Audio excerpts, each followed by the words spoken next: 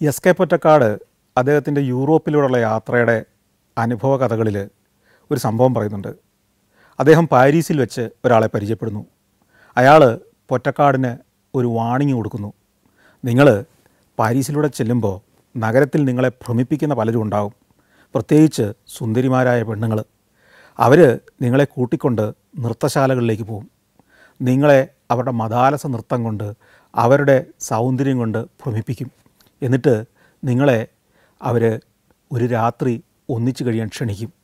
നിങ്ങളെ ഒരു ബെഡ്റൂമിലേക്ക് കൂട്ടിക്കൊണ്ടു പോകും നിങ്ങൾ അവരുമായിട്ട് ആ രാത്രി സ്പെൻഡ് ചെയ്യും.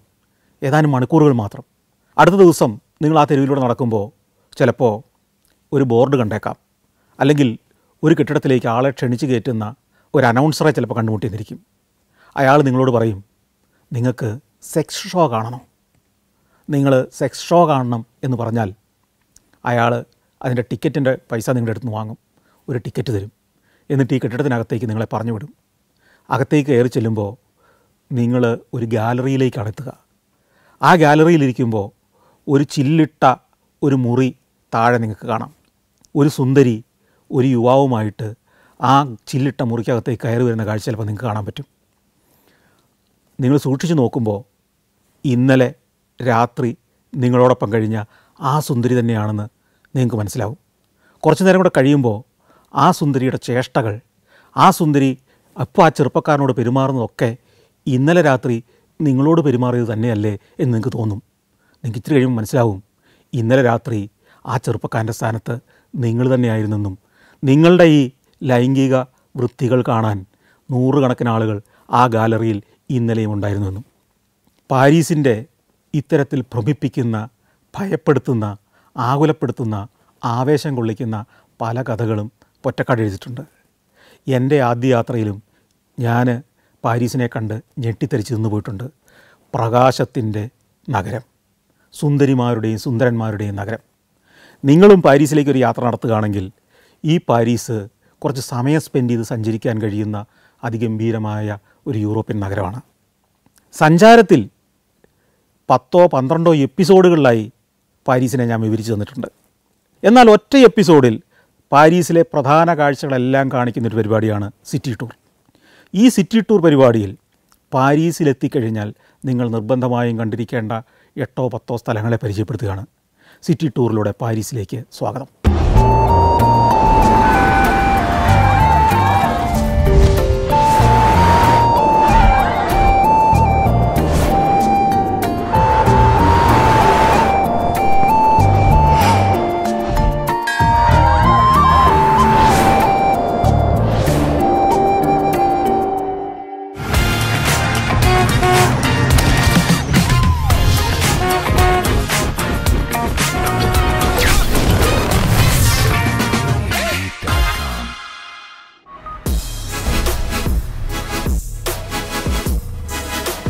പാരീസ് നഗരത്തിന് മുഖവരകളുടെ ആവശ്യമില്ല.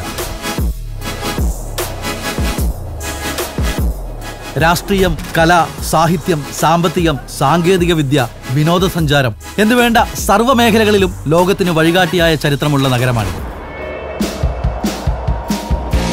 നിങ്ങളുടെ ഇഷ്ടങ്ങൾ എന്തു തന്നെയായാലും നിങ്ങൾ ഏത് സംസ്കാരത്തിൽ നിന്നുള്ളയാളായാലും ഏത് പ്രായക്കാരനായാലും നിങ്ങളെ അത്ഭുതപ്പെടുത്തുകയും സ്വാധീനിക്കുകയും പുതിയ തിരിച്ചറിവുകൾ സമ്മാനിക്കുകയും ചെയ്യും ഈ Paris.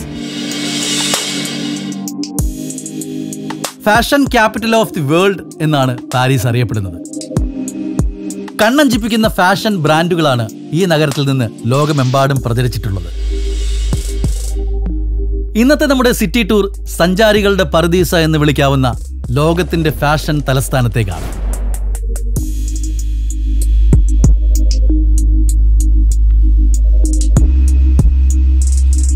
ഇന്നത്തെ സിറ്റി ടൂറിൽ നാം കടന്നു ചെല്ലുന്നത് പാരീസിലെ പ്രധാനപ്പെട്ടതും വേറിട്ടതുമായ പന്ത്രണ്ട് ഡെസ്റ്റിനേഷനുകളിലേക്കാണ്. നമുക്ക് സീൻ നദിയിൽ നിന്നും യാത്ര ആരംഭിക്കാം. അവിടെ നിന്നും നോത്രദാം കത്തീഡ്രലിലേക്ക്. പിന്നെ കലയുടെ പറുദീസയായ ല്യൂവർ മ്യൂസിയം. തുടർന്ന് ടൂവിലറീസ് ഗാർഡൻ. അടുത്തത് അലക്സാണ്ടർ മൂന്നാമൻ ബ്രിഡ്ജ്. അവിടെ നിന്ന് ഈഫൽ ടവറിലേക്കും. തുടർന്ന് ട്രയംഫ് ആർച്ച് നെപ്പോളിയൻ സ്റ്റൂംപ്. അടുത്തത് ചാംസ് എലീസി. തുടർന്ന് പലയ ഗാർണിയർ. തുടർന്ന് നമുക്ക് ആർട്സ് ബ്രിഡ്ജ് കാണാം. അവസാനമായി വേഴ്സായി പാലസും.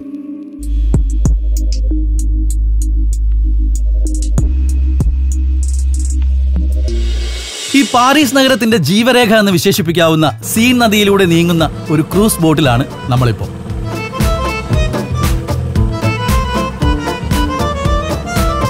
പാരീസിന്റെ ഒരു വിശാല കാഴ്ച ലഭിക്കാൻ സീനിലൂടെയുള്ള സഞ്ചാരം നമുക്ക് ശരിക്കും ഉപകരിക്കും. ഇതിനായി റിവർ ക്രൂസ് പാക്കേജുകൾ നമുക്ക് തിരഞ്ഞെടുക്കാം.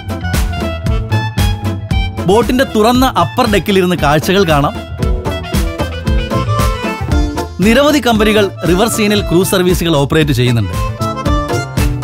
സീനിലൂടെയുള്ള പകൽ യാത്രയിലും രാത്രി യാത്രയിലും കാണുന്ന കാഴ്ചകളുടെ സ്വഭാവം തികച്ചും വ്യത്യസ്തമാണ്. പകൽ പേരുകേട്ട ചരിത്ര സ്മാരകങ്ങളുടെ ഭംഗിയും പ്രൗഢിയും ആസ്വദിച്ച് യാത്ര ചെയ്യാം. എന്നാൽ പകൽ കണ്ട കാഴ്ചകളുടെ പ്രകാശത്തിൽ പൊതിഞ്ഞ മറ്റൊരു രൂപമാണ് രാത്രിയിൽ നമുക്ക് കാണാനാവുക. സഞ്ചാരികളെ കൂടുതൽ ആകർഷിക്കുന്നതും അതുകൊണ്ട് തന്നെ നൈറ്റ് ട്രിപ്പുകളാണ് ഈ സൺസെറ്റ് ക്രൂസുകൾക്കും വലിയ തിരക്കുണ്ടാവാറുണ്ട്. സീനിലെ മനോഹരമായ സൂര്യാസ്തമയ കാഴ്ചയാണ് സൺസെറ്റ് ക്രൂസിൽ നമുക്ക് കാണാനാവുക ഇതിന്റെ വലിയൊരു പ്രത്യേകതയും അതുതന്നെയാണ് ലഞ്ച് ക്രൂസ് ഡിന്നർ ക്രൂസ് എന്നിങ്ങനെയും യാത്രകൾ ഇവിടെ ഒരുക്കിയിട്ടുണ്ട്. രുചികരമായ വിഭവങ്ങൾ ഉൾപ്പെടുത്തി സംഘടിപ്പിക്കുന്ന യാത്രയാണിത്. ഈഫൽ ടവറും ലൂവർ മ്യൂസിയവും മൂസേഡി ഓർസയും നോത്തർദാം കത്തീഡ്രലും അടക്കമുള്ള ലോകപ്രസിദ്ധ നിർമ്മിതികൾ ഈ യാത്രയിൽ നമുക്ക് കണ്ടുപോകാം.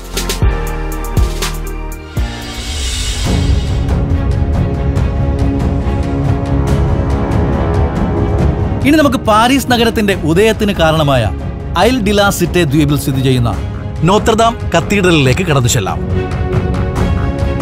യഥാർത്ഥത്തിൽ നോത്രദാം കത്തീഡ്രലിന്റെ പ്രശസ്തി ഒരു ആരാധനാ കേന്ദ്രം എന്ന നിലയ്ക്കല്ല. നോത്രദാമിലെ കൂനൻ എന്ന വിക്ടർ ഹ്യൂഗോയുടെ ലോക പ്രശസ്ത നോവലിന്റെ പശ്ചാത്തലമായിട്ടാണ് ഈ സ്ഥലം കൂടുതൽ പ്രശസ്തമായിട്ടുള്ളത്.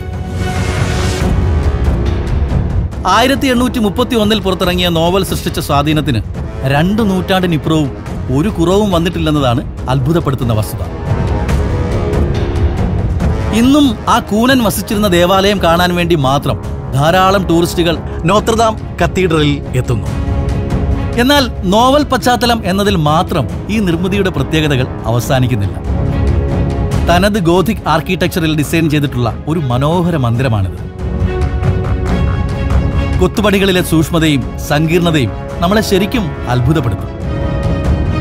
പരിമിതമായ സൗകര്യങ്ങളിൽ ഇത്രയും കൃത്യത എങ്ങനെ സാധ്യമാക്കിയെന്ന ചോദ്യം നമ്മുടെ ഉള്ളിൽ ഇങ്ങനെ ഉയർന്നു വരും. ഗോഥിക് ആർക്കിടെക്ചറിന്റെ സൗന്ദര്യമാണ് ഉൾവശത്തെയും പ്രധാന കാഴ്ച. കൊത്തുപണികളോടൊപ്പം സ്റ്റെയിൻ ചെയ്ത ചില്ലുജാലകങ്ങൾ കൂടി ചേരുമ്പോൾ ഹാൾ ഭാവനാ ചിത്രം പോലെ മികവുറ്റതാകുന്നു. ടൂറിസ്റ്റുകൾക്ക് പുറമെ ധാരാളം വിശ്വാസികളും ഇവിടെയുണ്ട്.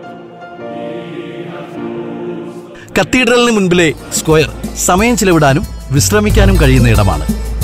രസകരമായ പ്രകടനങ്ങളുമായി ധാരാളം തെരുവ് കലാകാരന്മാരും ഇവിടെയുണ്ടാകും. കൂടെ സുവനീറുകളും ലഘുഭക്ഷണം വിൽക്കുന്ന കച്ചവടക്കാരെയും നമുക്കിവിടെ കാണാം. ആകെ ഒരു ഉത്സവ പറമ്പിന്റെ പ്രതീതിയാണ് ഇവിടെ കത്തീഡ്രലിൽ നിന്നും സീൻ നദിയും കടന്ന് മുന്നോട്ട് പോയാൽ നമുക്ക് അടുത്ത ഡെസ്റ്റിനേഷനായ ലൂവർ മ്യൂസിയത്തിൽ എത്താം.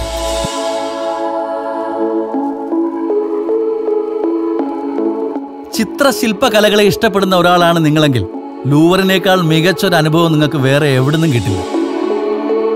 ലൂവർ എന്ന് തന്നെ പേരുള്ള കൊട്ടാരത്തിലാണ് ഈ മ്യൂസിയത്തിന്റെ പ്രവർത്തനവും. മുന്നിലെ ചത്തുരത്തിൽ ഗ്ലാസ് കൊണ്ട് മനോഹരമായൊരു പിരമിഡ് നിർമ്മിച്ചിട്ടുണ്ട്.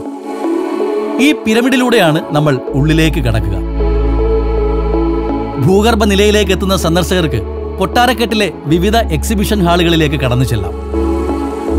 സൃഷ്ടികളെ പറ്റിയും അവയുടെ സാങ്കേതിക വശങ്ങളെ പറ്റിയും കൂടുതൽ അറിയാനായിട്ട് നമുക്ക് ഗൈഡഡ് ടൂറുകളും തിരഞ്ഞെടുക്കാം. ആറു ലക്ഷത്തിലധികം കലാസൃഷ്ടികൾ ഈ സ്ഥാപനത്തിന്റെ ശേഖരത്തിലുണ്ട്. ഇവയൊക്കെ സൃഷ്ടിച്ചിട്ടുള്ളതോ ലോകം കണ്ട അസാമാന്യ കലാപ്രതിഭകളും. ശേഖരത്തിലെ മുപ്പത്തി അയ്യായിരത്തോളം സൃഷ്ടികൾ മാത്രമേ ഒരു സമയത്ത് പ്രദർശിപ്പിക്കൂ. ഓരോ സൃഷ്ടിയും സർഗശേഷിയുടെ വ്യത്യസ്ത തലങ്ങൾ കാഴ്ചവെക്കുന്നതിനൊപ്പം അതാതു കാലത്തെ സാമൂഹിക സാഹചര്യങ്ങളെയും കൂടി അടയാളപ്പെടുത്തുന്നുണ്ട്. കാലം ചെല്ലുംതോറും ഇവയുടെ മൂല്യം ഇങ്ങനെ വർദ്ധിച്ചുകൊണ്ടേയിരിക്കുകയാണ്. വിൽക്കാൻ തുനിഞ്ഞാൽ കോടികളായിരിക്കും ഇതിന് വില. അതിനാൽ ലോകത്തിലെ തന്നെ ഏറ്റവും മികച്ച സുരക്ഷാ സംവിധാനങ്ങളാണ് ഈ മ്യൂസിയത്തിൽ ഏർപ്പെടുത്തിയിട്ടുള്ളത്. കാലഘട്ടം അനുസരിച്ചാണ് മ്യൂസിയത്തിന്റെ ക്രമീകരണം. ഇതിൽ ഏറ്റവും ഗംഭീരമെന്ന് ലോകം വാഴ്ത്തുന്ന ഒരു ചിത്രമാണ് മൊണാലിസ. മ്യൂസിയത്തിൽ ഏറ്റവും സുരക്ഷ ഏർപ്പെടുത്തിയിട്ടുള്ളതും ഈ ചിത്രത്തിന് തന്നെയാണ്. വലിപ്പത്തിൽ ചെറുതെങ്കിലും ലിസ ഡെൽ ഗിക്കോണ്ടോ എന്ന ഇറ്റാലിയൻ പ്രഭുയുടെ ഗൂഢമായ ഭാവം അസാധാരണമായ സർഗാത്മകതയോടെ പകർത്തിയിട്ടുള്ള മൊണാലിസ കാലാതിവർത്തിയായ ഒരു അത്ഭുതം തന്നെയാണ്.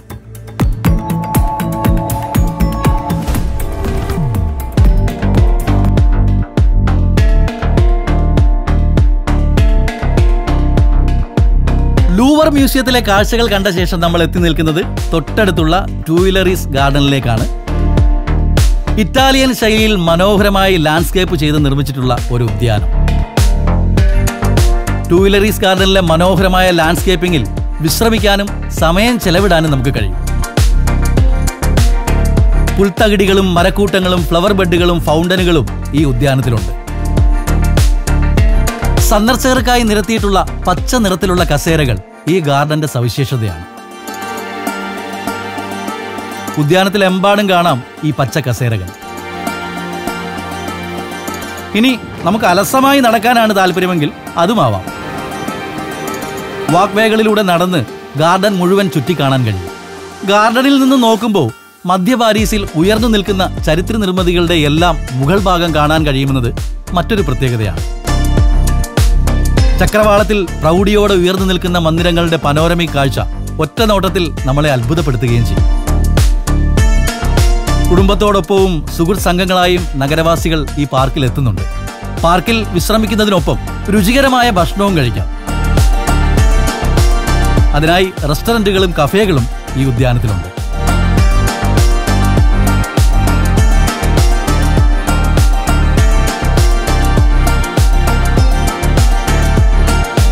ഗാർഡനിൽ നിന്നും ഇനി നമുക്ക് പോകേണ്ടത് സീൻ നദിക്ക് കുറുകെയുള്ള ഒരു പാലത്തിലേക്കാണ്. സാർ ചക്രവർത്തിയായിരുന്ന അലക്സാണ്ടർ മൂന്നാമന്റെ പേരിലുള്ള പാലമാണിത്. സീൻ നദിക്ക് കുറകെ നിരവധി പാലങ്ങളുണ്ട്. ഈ പാലങ്ങളിൽ മിക്കതും ചരിത്ര പ്രാധാന്യമുള്ള സ്മാരകങ്ങൾ കൂടിയാണ്. പ്രമുഖരെ ആദരിക്കുന്നതിന് പുറമെ നിർണായക സംഭവങ്ങളുടെ ഓർമ്മയ്ക്കും പാലങ്ങൾക്ക് പേര് നൽകാറുണ്ട്. അലക്സാണ്ടർ മൂന്നാമന്റെ പേര് പാലത്തിന് ലഭിച്ചത് അങ്ങനെയാണ്. ഫ്രാൻസും റഷ്യയും തമ്മിലുള്ള മികച്ച ബന്ധത്തിന് അടിത്തറയിട്ടു എന്നതാണ് അലക്സാണ്ടർ മൂന്നാമന്റെ പ്രത്യേകത. പാരീസിലെ ഏറ്റവും മനോഹരമായ പാലം അലക്സാണ്ടർ മൂന്നാമൻ ബ്രിഡ്ജാണെന്ന് നമുക്ക് എടുത്തു പറയാം. പാലത്തിൽ നിന്ന് നോക്കുമ്പോൾ ഇരുവശങ്ങളിലുമായി കാണുന്നത് Les Invalides complex grand Palais എന്നീ ഗംഭീര നിർമ്മിതികളാണ്. ഈ ഭാഗങ്ങളെ തമ്മിൽ ബന്ധിപ്പിക്കുന്ന പാലമെന്ന നിലയിൽ സമാനമായ പ്രൗഢിയോടെ അലക്സാണ്ടർ മൂന്നാമൻ പാലവും ഡിസൈൻ ചെയ്തിരിക്കുന്നു. സ്തംഭങ്ങളും ശില്പങ്ങളും മറ്റ് അലങ്കാര പണികളും പാലത്തിൽ നമുക്ക് കാണാം. ഈ പാലത്തിൽ നിന്നുകൊണ്ട് സീൻ നദിയുടെയും ചുറ്റുമുള്ള നഗരഭാഗങ്ങളുടെയും ഭംഗിയേറിയ ദൃശ്യങ്ങൾ കാണാൻ കഴിയുന്നത് രസകരമായ ഒരു അനുഭവമാണ്. ഇനി അതിൽ തന്നെ സൂര്യാസ്തമയ സമയത്തുള്ള കാഴ്ചകളാണ് ഏറ്റവും മനോഹരം. സായാഹ്നത്തിൽ ഇവിടെ എത്തിയാൽ സൺസെറ്റും കണ്ടു മടങ്ങാം. Saudi Arabia United Arab Emirates Kuwait. സഞ്ചാരം volume number twenty. Full H ഡിയിലുള്ള അപൂർവ ദൃശ്യയാത്രാ വിവരണ ശേഖരം. ഉടൻ സ്വന്തമാക്കാൻ സഞ്ചാരം എന്ന് എസ് എം എസ് ചെയ്യൂ. Phone triple nine five triple four triple two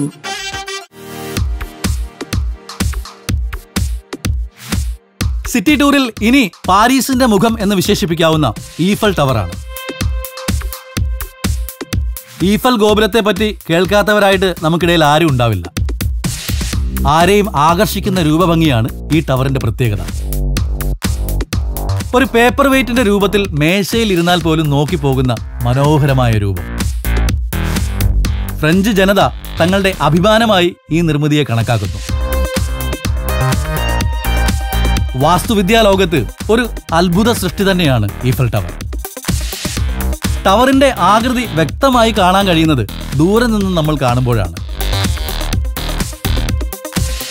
ഇതിനായി പലയിടങ്ങളിൽ വ്യൂ പോയിന്റുകളും മാർക്ക് ചെയ്തിട്ടുണ്ട്. ഈഫൽ ടവറിനടിയിലെ എസ്പ്ലനേഡിൽ നിന്ന് നോക്കുമ്പോൾ ഗുസ്താവ് ഈഫലിന്റെ എഞ്ചിനീയറിംഗ് വൈദഗ്ധ്യം നമുക്ക് മനസ്സിലാക്കാനാവും. ആയിരക്കണക്കിന് ഇരുമ്പ് ബ്ലോക്കുകൾ കൂട്ടിയിണക്കിയുള്ള നിർമ്മാണത്തിലെ കൃത്യത നമ്മളെ ശരിക്കും അമ്പരിപ്പിക്കും. മൂന്ന് വ്യത്യസ്ത ലെവലുകളിൽ ഇവിടെ ഒബ്സർവേഷൻ ഡെക്കുകളുണ്ട്. ഒന്നും രണ്ടും ലെവലുകളിലേക്ക് ലിഫ്റ്റിലും പടി കയറിയും നമുക്ക് എത്താനാകും ഒന്നാം ലെവലിൽ നഗരത്തിന്റെ കാഴ്ചകൾ കാണുന്നതിനൊപ്പം restaurant souvenir shop glass platform എന്നിവയും കാണാം. രണ്ടാം ലെവലിൽ ഗിഫ്റ്റ് ഷോപ്പും പബ്ബുമാണുള്ളത്. സമ്മിറ്റ് എന്ന് വിളിക്കാവുന്ന ഏറ്റവും മുകളിലെ ലെവലിൽ ലിഫ്റ്റിലൂടെ മാത്രമേ നമുക്ക് എത്താനാവൂ ഇതിനുള്ള ടിക്കറ്റുകൾ മാസങ്ങൾക്ക് മുമ്പേ തന്നെ വിറ്റുതീരുകയും ചെയ്യും.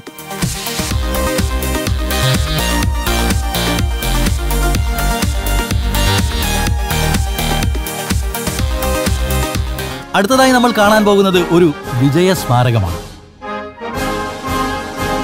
യൂറോപ്പിനെ കാഴ്ക്കീലിലാക്കിയ ഭരണാധികാരി അതിബുദ്ധിമാനായ സേനാനായകൻ അപ്രതീക്ഷിതമായ നീക്കങ്ങളിലൂടെ എതിരാളികളെ നിഷ്പ്രയാസം കീഴടക്കിയ യുദ്ധതന്ത്രജ്ഞ ഫ്രഞ്ച് മണ്ണിൽ നിന്നുകൊണ്ട് ഈ വിശേഷണങ്ങൾ പറയുമ്പോൾ അത് ആരെ പറ്റിയെന്ന ചോദ്യത്തിന് ഒരൊറ്റ ഉത്തരമേ ഉള്ളൂ സാക്ഷാൽ നെപ്പോളിയൻ. നെപ്പോളിയന്റെ ദിഗ്വിജയങ്ങളുടെ ഓർമ്മയ്ക്കായി നിർമ്മിച്ച സ്മാരകമാണ് ട്രയംഫ് ആർച്ച്. പാരീസ് നഗരത്തിന്റെ കൾച്ചറൽ ലാൻഡ്മാർക്കായി ട്രയംഫ് ആർച്ചിനെ നമുക്ക് കണക്കാക്കാം.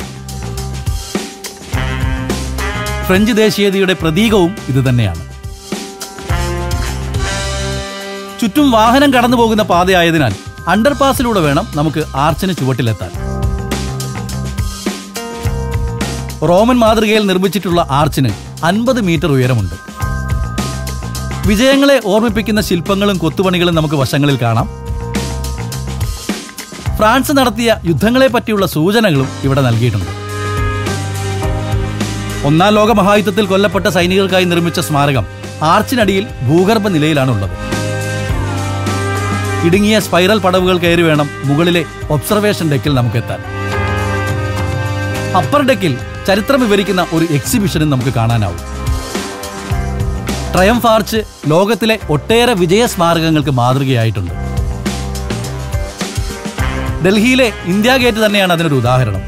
ഇന്ത്യ ഗേറ്റിലൂടെ കടന്നു പോകുന്ന രാജ്പഥിനെ പോലെ ട്രയംഫ് ആർച്ചിലൂടെയും ഒരു പാത കടന്നു പോകുന്നുണ്ട് ചാംസ് എലീസി. ഇനി നമുക്ക് നെപ്പോളിയന്റെ കുടീരം കാണാം. ഫ്രഞ്ച് ചരിത്രത്തിൽ നെപ്പോളിയന്റെ സ്ഥാനത്തിന് യോജിക്കുന്ന തരത്തിൽ തന്നെ ഒരുക്കിയിട്ടുള്ള അന്ത്യവിശ്രമ സ്ഥാനമാണിത്.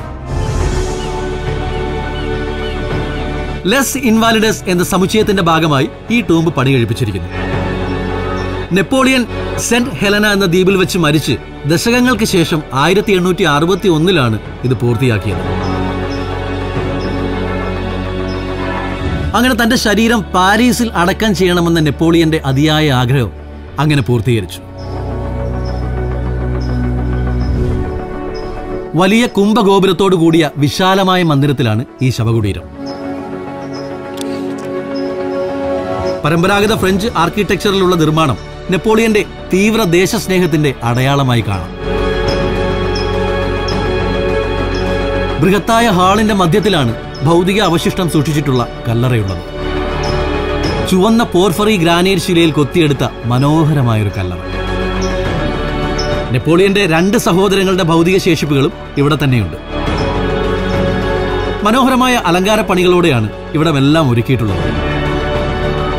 ഗംഭീരമായ മകുടം പുറത്തു നിന്നെന്ന പോലെ ഉൾവശത്തും പ്രൗഢമാണ്.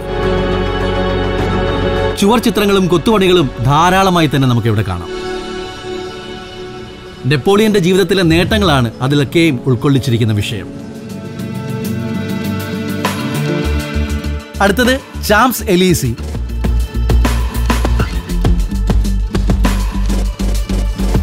രാജപാത എന്ന വിശേഷണമുള്ള പാരീസ് നഗരത്തിലെ തെരുവാണ് ചാംസ് എലീസി. ട്രയംഫ് ആർച്ചിൽ നിന്നും ആരംഭിക്കുന്ന പാത പ്ലാസ്ഡീല കോൺകോർഡ് എന്ന ചത്തുരത്തിൽ അവസാനിക്കുന്നു. മധ്യത്തിലായി വാഹനങ്ങൾക്ക് സഞ്ചരിക്കുന്നതിനുള്ള റോഡ് ഇരുവശത്തും വിശാലമായ വാക്കിംഗ് ഏരിയ വീതി കൂടുതൽ നടപ്പാതയ്ക്കാണ്. ധാരാളം മരങ്ങളും ഈ ഭാഗത്ത് നട്ടുപിടിപ്പിച്ചിട്ടുണ്ട്. ഒരു സിറ്റി പാർക്കിന് സമാനമാണ് ചാംസ് എലീസിയിലെ ക്രമീകരണങ്ങൾ.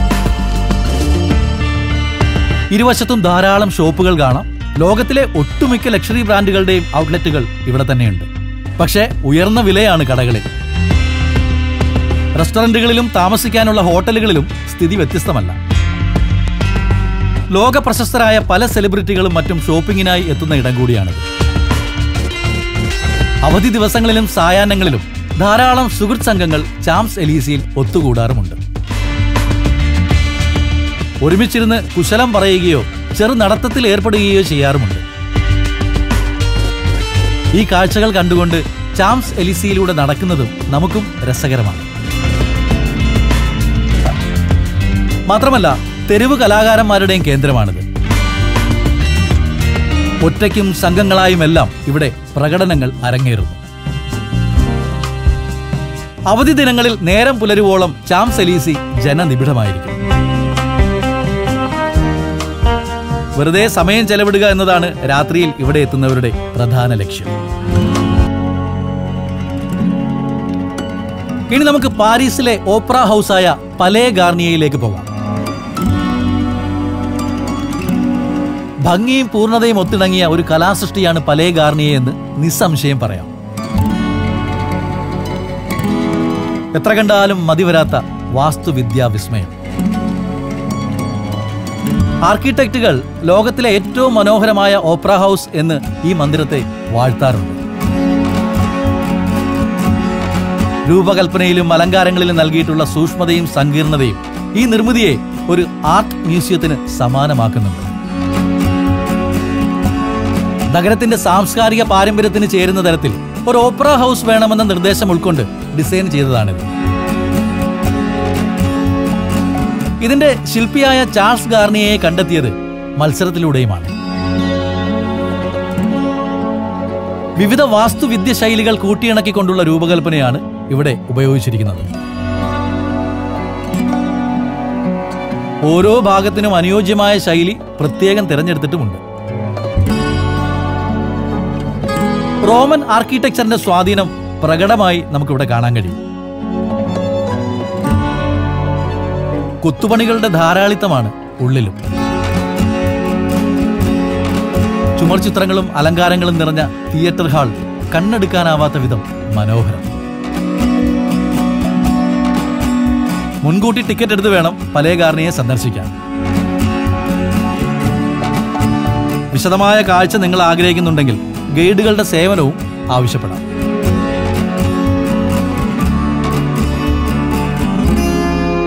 ഇനി പോകേണ്ടത് പ്രണയിതാക്കളുടെ പാലം എന്നറിയപ്പെടുന്ന പാലത്തിലേക്കാണ്. പോണ്ടസ് ആർട്സ് അഥവാ ആർട്സ് ബ്രിഡ്ജ് സീൻ നദിക്ക് കുറുകെയുള്ള ചെറിയൊരു പാലമാണിത്. വാഹന ഗതാഗതം ഇവിടെ അനുവദിക്കുന്നില്ല. ലവ് ലോക്കുകളുടെ പേരിലാണ് ശരിക്കും ഈ പാലം പ്രസിദ്ധമായത്. രണ്ടായിരത്തി എട്ട് മുതൽ പ്രണയത്തിന്റെ ഓർമ്മയ്ക്കായി താഴുപൂട്ടി താക്കോൽ സീൻ നദിയിൽ എറിയുന്ന രീതി തുടർന്നു പോന്നിരുന്നു. ഫ്രഞ്ച് സംസ്കാരത്തിന്റെ ഭാഗമല്ലാത്തൊരു പതിവാണിത്. ഒരു ഘട്ടത്തിൽ പാലത്തിന്റെ ഉറപ്പിന് തന്നെ ഭീഷണിയായതോടെ ഗവൺമെന്റ് ഇടപെട്ട് ഇത് അവസാനിപ്പിക്കുകയായിരുന്നു.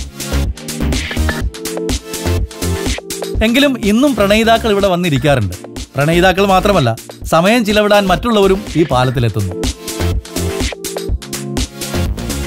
മരപ്പലകൾ വിരിച്ച് മനോഹരമാക്കിയിട്ടുള്ള ഒരു പാലമാണിത്. കാഴ്ചയിൽ ഒരു പാരമ്പര്യ തനിമയൊക്കെയുണ്ട്. ഇരിപ്പിടങ്ങൾ നിരത്തി ഇരിക്കാനുള്ള സൗകര്യവും ഒരുക്കിയിരിക്കുന്നു. സായാഹ്നങ്ങളിൽ ധാരാളം ആളുകൾ ഈ പാലത്തിലുണ്ടാകും. സീനിലെ സൂര്യാസ്തമയ കാഴ്ച ആസ്വദിക്കാൻ നമുക്ക് ഇവിടേക്ക് വരാം. തീരത്തെ കാഴ്ചകളും നദിയിലൂടെ ബോട്ടുകൾ കടന്നു പോകുന്നതും കണ്ട് സമയം ചിലവിടുകയും ചെയ്യാം.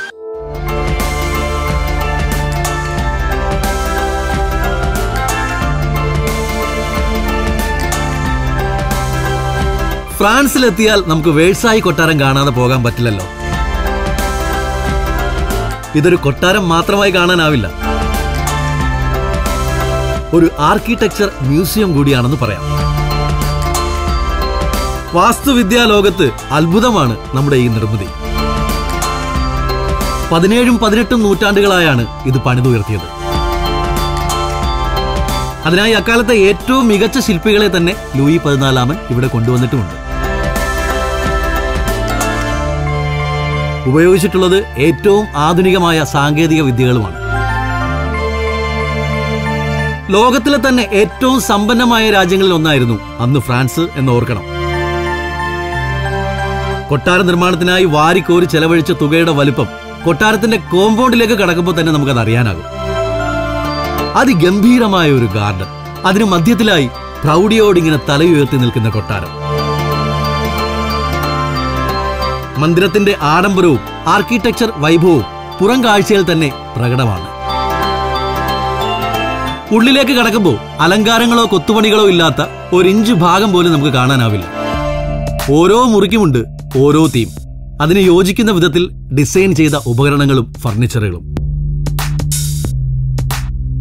അതിഥി മുറികളും ഹാളുകളും കണ്ണെടുക്കാനാവാത്ത വിധം മനോഹരമാണ്. ശില്പങ്ങൾ തൂക്കുവിളക്കുകൾ ചുവർ ചിത്രങ്ങൾ എന്ന് വേണ്ട എന്തിലും കാണാം ആ ഒരു പ്രൗഢി. ഒരു കാലത്ത് യൂറോപ്പിലെ ചില രാജാക്കന്മാർ വേഴ്സായി കൊട്ടാരത്തിന്റെ മാതൃകയിൽ കൊട്ടാരങ്ങൾ നിർമ്മിക്കാനോ നവീകരിക്കാനോ ശ്രമം നടത്തിയിട്ടുണ്ടായിരുന്നു. എന്നാൽ അവരാരും ഈ കൊട്ടാരത്തെ വെല്ലുന്ന ഒന്ന് നിർമ്മിച്ചിട്ടില്ല എന്നുള്ളതാണ് സത്യം. കാരണം അത് അസാധ്യമായതുകൊണ്ട് തന്നെയാണ്. നമ്മുടെ കണ്ണും മനസ്സും ഒരുപോലെ നിറയ്ക്കുന്ന കാഴ്ചകളാലും അനുഭവങ്ങളാലും സമ്പന്നമാണ് പാരീസ് നഗരം. ചരിത്രവും സംസ്കാരവും കലയും സാങ്കേതിക വിദ്യയും എല്ലാം ഇവിടെ വിനോദസഞ്ചാര മേഖലയ്ക്ക് മുതൽക്കൂട്ടാകുന്നു. നിങ്ങൾ ചരിത്രത്തെ സ്നേഹിക്കുന്നയാളാണെങ്കിൽ സംഭവബഹുലവും സംഘർഷഭരിതവുമായ ചരിത്രത്തിന്റെ ഏടുകളാണ് പാരീസിൽ നിങ്ങളെ കാത്തിരിക്കുന്നത്. നിങ്ങൾ കലയെ സ്നേഹിക്കുന്നയാളാണെങ്കിൽ ഇതിലും മികച്ചൊരു ഡെസ്റ്റിനേഷൻ വേറെ ഇല്ലെന്ന് തന്നെ പറയാനാണ് ഇനി നിങ്ങൾ സാങ്കേതിക വിദ്യയുടെ വളർച്ചയെ അടുത്തറിയാൻ ശ്രമിക്കുന്നുവെങ്കിൽ ഈഫൽ ഗോപുരം പോലെയുള്ള എഞ്ചിനീയറിംഗ് അത്ഭുതങ്ങൾ മറക്കാനാവാത്ത ഓർമ്മകൾ നിങ്ങൾക്ക് നൽകും. ജീവിതത്തെ ആഘോഷമാക്കുകയും തിരിച്ചടികളോട് പോരാടുകയും ചെയ്യുന്ന പാരീസിലെ ജനസമൂഹം തീർച്ചയായും നിങ്ങൾക്കൊരു പ്രചോദനവുമായിരിക്കും. ശരിക്കും സഞ്ചാരികളുടെ പറുദീസ തന്നെയാണ് പാരീസ്. ഒരിക്കൽ വന്നാൽ വീണ്ടും വീണ്ടും നിങ്ങളെ ആകർഷിക്കുന്ന മായികാ ലോകം